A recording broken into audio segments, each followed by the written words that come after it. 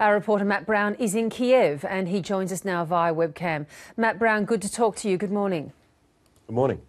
So you're there in Kiev. The troops are lining up either side of the border there, Ukraine and, and down on the Crimean Peninsula. Just how bad does the situation look? Well, it's obviously very bad. I mean, Ukraine has completely lost control of the Crimean Peninsula now. Uh, Russian troops are surrounding Ukrainian army bases down there.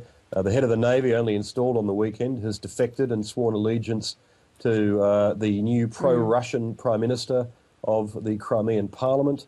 Um, there is a, an increasing risk, I think it's unlikely, but there is an increasing risk of, of war between the two militaries of Ukraine and Russia.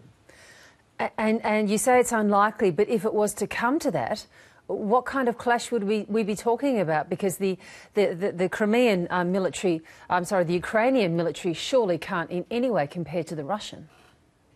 No, that's right. I mean, today we've seen the Ukrainian Prime Minister announce that uh, the country is inches away from war with Russia, that uh, it's very close to an absolute disaster. Uh, they've issued a call up of army reservists and they've put the military on the highest state of alert. But they can't win. They can't take Russia on. It, it very much reminds me of 2008 when I was in Georgia, mm. when Georgia had a conflict with Russia. You know, what we're going to see is a lot of saber rattling, some muscle flexing, and uh, in this case, I don't think uh, Russia's going to be giving back the territory that it already controls. And uh, another question you've got to ask yourself when John Kerry says it's not going to be business as usual. I can tell you one country that can't afford not to have business as usual with Russia at the moment, and that is Ukraine. For example, it gets 60% of its gas from Russia. So, mm. a, a, very difficult and sticky situation here with military tensions rising, but a lot kind of counting against an all out confrontation. Yes, indeed. And, and, and, we heard the strong language there from John Kerry. But, Matt Brown, how do we interpret that? I mean, the, the threat there of being thrown out of the G8 and some sort of retaliation, as John Kerry put it. What could Russia really, really expect from the US in the international community? Well, that is serious. And Russia doesn't want to be left out in the cold uh, with only uh, uh, a rising China as its buddy in the international community. Uh, but that said, John Kerry and Barack Obama need Russia to broker a deal on Iran's nuclear program. They need Russia to broker a deal on the Syrian civil war. They need Russia to deal with a range of security problems, including withdrawing American uh, forces and, and uh, stability in Afghanistan. Mm. So there's a whole lot of you know, other uh, sides of the coin for those threats that John Kerry made. I, I doubt that they are um, threats made without intent.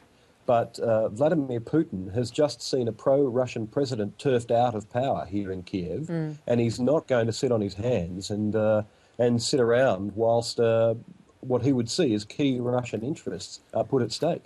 So, what do we make of the multilateral and bilateral talks that are going on at the moment, in particular between Germany and Russia? Angela Merkel and Vladimir Putin continuing to talk.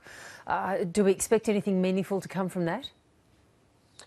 Look, um, Vladimir Putin, we're told in the last hours, uh, told Angela Merkel that what he's doing is appropriate and that he hopes we can all work towards getting things back to normal in Ukraine. You see, the Russians see the ouster of uh, Viktor Yanukovych, a democratically elected president, as an act of extremism yes. by people here in Kiev. And they're just not about to sit around, as I've said, and uh, you know let that go without some kind of action to protect their interests. Their interests, first and foremost, at their Black Sea port there at Sevastopol on the Crimean Peninsula. Mm. But then there's the Russian speaking communities that pretty much dominate that area. And then the broader tracts of land above the Crimean, Crimean Peninsula along the border with Russia itself. And when you start talking about that kind of expansion of uh, the territory that we're, we're discussing here, then you are talking about maybe conflict between the militaries, maybe more civil war between pro Russian and anti Russian forces. That gets very dangerous. But that is the sort of territory that Vladimir Putin has alluded to. Matt, can we just go back to that, uh, what seems to me extraordinary development with um, Rear Admiral Denis Berezovsky that you mentioned, the newly appointed head of Ukraine's Navy, actually switching allegiance, defecting if you like, and swearing allegiance to the Crimea region.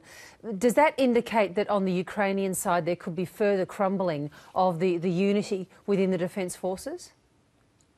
Look, there have been there has been a security uh, unit that has uh, also been of questionable loyalty down there. Uh, the Ukrainian government, though, says that its navy ships uh, remain under its control in that region. It did move some Coast Guard vessels out of their ports down there to other locations, but I guess the, the main thing is that the hardware uh, and the troops themselves uh, haven't, you know, thrown in their thrown in the towel as yet.